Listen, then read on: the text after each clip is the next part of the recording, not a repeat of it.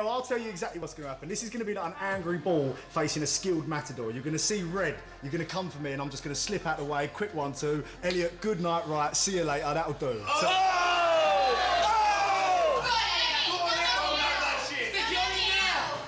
Save your breath. Fight night, we're gonna get smashed to bits. Oh!